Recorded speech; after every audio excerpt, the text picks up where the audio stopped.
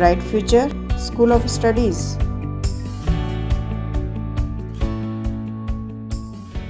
Hello students आज हम विशेषण पढ़ेंगे जिसमें हम देखेंगे।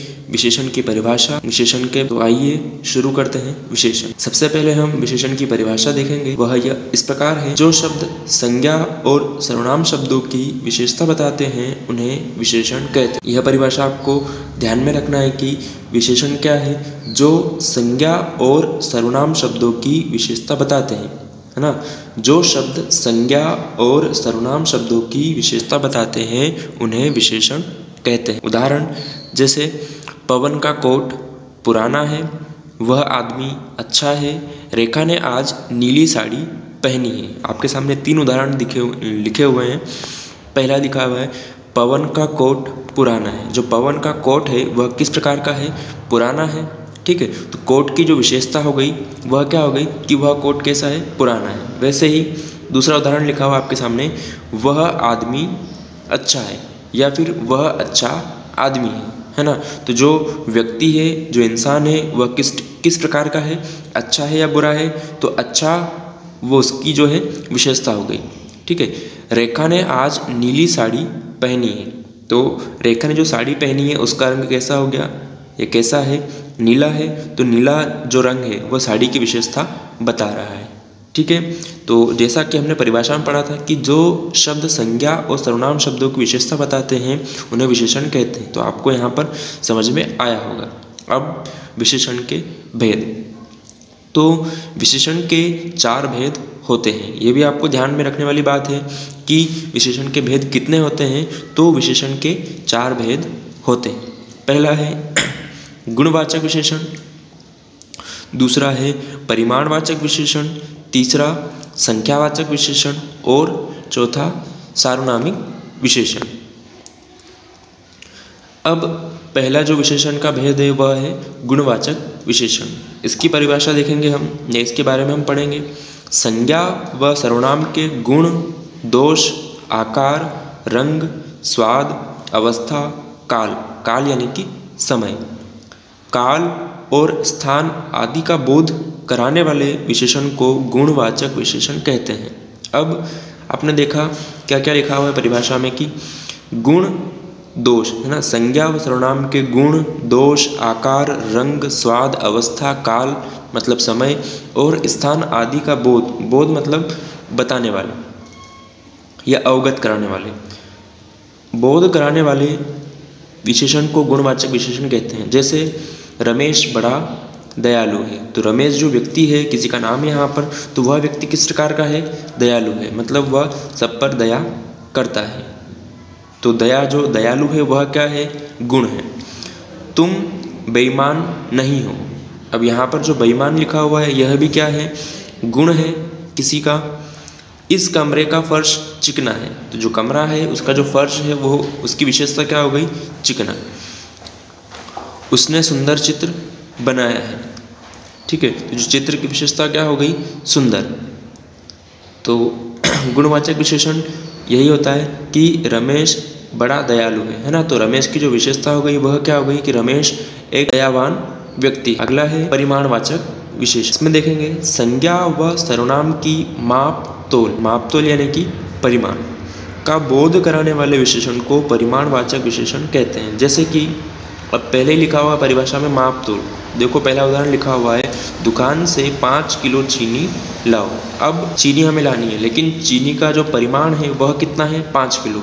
माप तोल लिखा हुआ है तो चीनी हमें दुकानदार तोल कर ही देता है। तो क्या लिखा हुआ है यहाँ पर कि दुकान से पाँच किलो चीनी लाओ। तो जो चीनी का परिमाण क्या है? पाँच किलो, है ना? तो यही क्या हो गया? परिमाणवाचक विशेषण हो गया। अगला उदाहरण है उसकी कमीज में दो मीटर कपड़ा लगेगा। अब किसी की कमीज सिलना है दर्जी को तो उसकी कमीज में उसको कितना कपड़ा लेना पड़ेगा?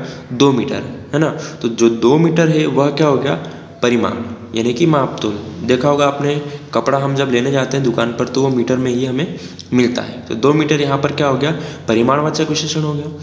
फिर है, मुझे एक गिलास पानी दो। अब यहाँ पर जो एक गिलास लिखा हुआ है, वह क्या है? परिमाणवाचक विशेषण। फिर है, अभी हमें थोड़ा समय लगेगा, ठीक है? माप तोल लिखा हुआ है ये हमें ध्यान में रखना है कि अभी हमें थोड़ा समय लगेगा। थोड़ा यानी कि एक घंटा भी लग सकता है, दस मिनट, पंद्रह मिनट। तो इसको भी क्या करा? मापा तोला, ठीक है? तो यह क्या हो गया? परिमाणवाचक विशेषण। फिर है, अब परिमाणवाचक विशेषण दो प्रकार का होता है। वह भी हम इसमें देखेंगे। अब दो प्रकार कौन कौन से हैं? पहला प्रकार है निश्चित परिमाणवाचक विशेषण और दूसरा लिखा हुआ है अनिश्चित परिमाणवाचक विशेषण। मतलब दो प्रकार के परिमाणवाचक विशेषण होते हैं। पहला एक तो निश्चित है और दूसरा अनिश्चित। अब निश्चित परिणामवाचक विशेषण, इसके बारे में पढ़ें। जो विशेषण अपने विशेष के निश्चित परिमाण का बोध कराते हैं, उन्हें निश्चित परिमाणवाचक विशेषण कहते हैं। अब देखो, निश्चित जो कि क्या है? फिक्स है, ऐसा बोध करा, जैसे कि इस पैकेट में 200 ग्राम चाय है। अब देखो, एक चाय है, चाय का जो परिमाण है, वह कितना हो गया? 200 ग्राम, है ना?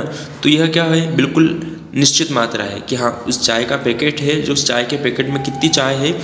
200 ग्राम। तो यह क्या है? बिल्कुल निश्चित है। ठीक है? फिर अगला उदाहरण लिया है। एक किलो आटे का मूल्य बीस रुपये है ना? तो जो आटा है, वह कितना है? उसका परिमाण क्या है? वह क्या है? एक किलो। एक किलो क्या है? एक निश्चित मात्रा है। इसलिए क्या हो गया? निश्चित परिणामवाचक विशेषण हो गया। अगला है, राशन कार्ड पर हर महीने दो लीटर तेल मिलता है। तो जो दो लीटर तेल है, ये भी नाप तोल कर दिया जाता है। तो कैसा है? तेल की मात्रा बिल्कुल निश्चित है। निश्चित कितनी है? दो लीटर है। तो दो लीटर है, वो क्या हो गया? निश्चित परिमाण, परिमाणवाचक विशेषण फिर है, घर का सारा काम मुझे करना पड़ता है। तो यहाँ पर जो सारा शब्द है, वह क्या है? निश्चित परिमाणवाचक विशेषण। फिर दूसरा भाग है, या भेद है, अनिश्चित परिमाणवाचक विशेषण। अब यहाँ पर निश्चित में सब कुछ जो मात्राएँ दी थी, हमने उदाहरण देखे थे, उनमें जैसे चाय की मात्रा निश्चित थी, तेल की मात्रा निश्चित थी, आटे की मात्रा निश्चित निश्चित थी। अब यहाँ पर अनिश्चित। इसके नाम से ही स्पष्ट हो रहा है कि यहाँ पर क्या होगा? अनिश्चित है। मतलब कोई फिक्स नहीं। परिभाषा क्या है इसकी? जो विशेषण अपने विशेष के अनिश्चित परिमाण का बोध कराते हैं, उन्हें अनिश्चित परिमाणवाचक विशेषण कहते हैं। जैसे, कुछ समय बाद सब ठीक हो जाएगा। अब यहाँ पर लिखा है कि कुछ समय बाद सब कुछ हो जाएगा। अब समय के बाद ठीक हो जाएगा, लेकिन यहाँ पर समय नहीं बताया गया। कुछ समय, या तो एक दिन, दो दिन, तीन दिन, या एक घंटा, कुछ भी हो सकता है, लेकिन यहाँ कुछ फिक्स समय या निश्चित समय नहीं बताया गया। कैसा है यह? कुछ अनिश्चित है। तो जो कुछ शब्द है, वह क्या हो गया? अनिश्चित परिमाणवाचक विशेषण। अगला है, थोड़ा पैसा आते ही उसका दिमाग फिर गया। अब पैसा है ना? धन है। तो यहाँ पर जो पैसा है, वो कितना है? थोड़ा है। थोड़ा यानी कि एक रुपया भी हो सकता है, एक लाख भी हो सकता है, कुछ भी हो सकता है, लेकिन यहाँ पर वह निश्चित नहीं है। अगला है, रवि के पास ढेरों पुस्तकें हैं। अब ढेरों पुस्तकें जो लिखा है, ढेरों, है ना? ढेर यानी कि बहुत सारी। तो यह भी क्या है? अनिश्चित है। अब ढेर सारी में पता नहीं कितनी है उसके पास। तो ढेरों जो शब्द हैं, ढेर सारी, बहुत सारी, वो क्या हो गया? अनिश्चित परिमाणवाचक विशेषण। अगला एक और उदाहरण दिया हुआ है। बारिश में टनों अनाज बर्बाद हो गया। अब टन, है ना? जो कि क्या है? परिमाण है, लेकिन कितना? एक टन, दो टन, तीन टन, पता नहीं है। तो यह क्या हो गया? अनिश्चित, यानी कि जो अनाज बर्बाद हुआ है, उसकी मात्रा निश्चित नहीं। अगला जो विशेषण का भेद है, वह है संख्यावाचक विशेष इसकी परिभाषा है, संज्ञा व सर्वनाम की संख्या का बोध कराने वाले विशेषण को संख्यावाचक विशेषण कहते हैं। है ना? जैसे कि संख्यावाचक विशेषण इसके नाम से ही स्पष्ट है कि इसमें हम क्या देखेंगे? संख्या। है ना? यह संख्या का बोध हमें होता है। संज्ञा व सर्वनाम की संख्या का बोध कराने वाले विशेषण को संख्यावाचक विशेषण कहते हैं। जैसे, सड़क पर सैकड़ों आदमी जा रहे हैं, है ना?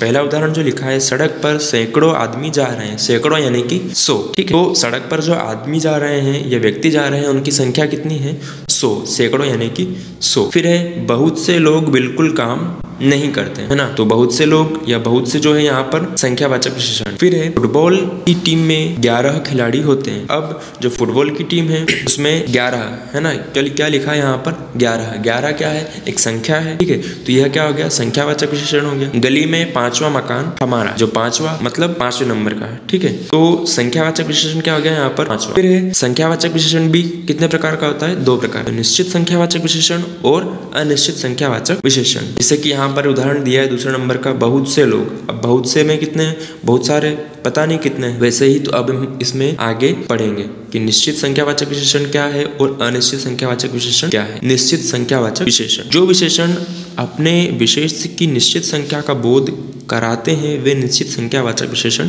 कराते हैं। है ना? जैसा अभी हमने कुछ देर पहले निश्चित परिमाणवाचक विशेषण और अनिश्चित परिमाणवाचक विशेषण में देखा था, ठीक उसी प्रकार का यहीं पर भी है। क्या बताया है कि जो विशेषण अपने विशेष की निश्चित संख्या निश्चित संख्या मतलब जो संख्या फिक्स है है ना? निश्चित संख्या का बोध कराते हैं, वे निश्चित संख्यावाचक विशेषण होते हैं। जैसे बाहर दो आदमी झगड़ रहे हैं, है ना? अब यहाँ पर साफ़ साफ़ शब्दों में बोला गया है कि जो आदमी झगड़ रहे हैं, वो कितने हैं? दो है, यानी उनकी संख्या निश्चित है। फिर अगला उदाहरण लिखा हुआ है, मुझे एक हज़ार रुपये की ज़रूरत है। तो यहाँ पर किसी को ज़रूरत है, लेकिन यहाँ पर बताया गया है, मात्रा बताई गई है, वह क्या है? एक हज़ार रुपये फिर है, हमारा दूसरा घंटा कला का है है ना? अब हमारा दूसरा घंटा यहाँ पर भी क्या है? निश्चित है कि जो एक तो पहला और एक दूसरा तो यहाँ पर लिखा गया है दूसरा। दूसरा घंटा, यानी कि दूसरा जो कालखंड है, वह क्या है? कला। कला मतलब आर्ट्स। ठीक है? तो हमारा दूसरा घंटा, यानी कि दूसरा जो पीरियड है, वह किसका है? कला का है। तो कौन सा है? दूसरा। दूसरा क्या है? निश्चित है। इस बिल्डिंग में तीसरी मंजिल पर, वह इस बिल्डिंग में तीसरी मंजिल पर रहता है है ना? कोई व्यक्ति रह रहा है किसी बिल्डिंग में, लेकिन किस मंजिल पर रह रहा है, वो यहाँ पर बताया गया निश्चित मात्रा है यहाँ पर किस किस पर? तीसरी पर तो यह क्या हो गया? निश्चित संख्यावाचक विशेषण। फिर अगला है, अनिश्चित संख्यावाचक विशेषण। जो विशेषण अपने विशेष के अनिश्चित परिमाण का बोध कराते हैं, वे अनिश्चित संख्यावाचक विशेषण कहलाते हैं। जैसे भूकंप में हज़ारों मकान तबाह हो गए। अब देखो, यहाँ पर क्या है? अनिश्चित मतलब हज़ारों।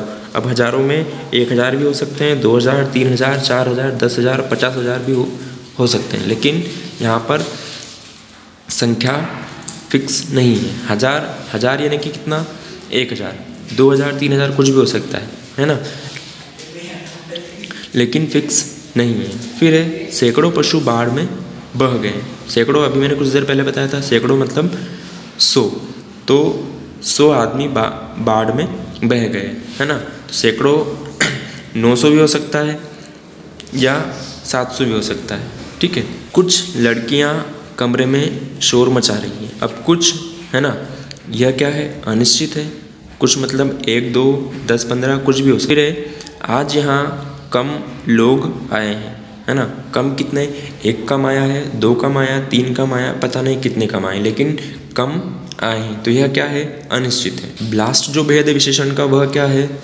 सार्वनामिक विशेषण। जब कोई सर्वनाम शब्द संज्ञा की ओर संकेत करता है तो उसे सार्वनामिक विशेषण कहते हैं। क्या बताया परिभाषा में कि जब कोई सर्वनाम शब्द संज्ञा की ओर संकेत या इशारा करता है तो उसे सार्वनामिक विशेषण कहते हैं। जैसे, वह यह काम नहीं कर सकता है है ना?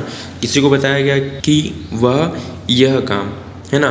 यह काम, अब काम का नाम यहाँ पर नहीं बताया गया है, लेकिन काम कोई सा भी हो सकता है वह जगह मुझे अच्छी लगती है। अब किसी जगह का नाम नहीं बताया, लेकिन उस जगह पर जाना उनको पसंद है तो क्या बताया यहाँ पर? वह जगह मुझे अच्छी लगती है। ये लोग मैच देखने जा रहे हैं। तुमने ऐसा काम क्यों किया है?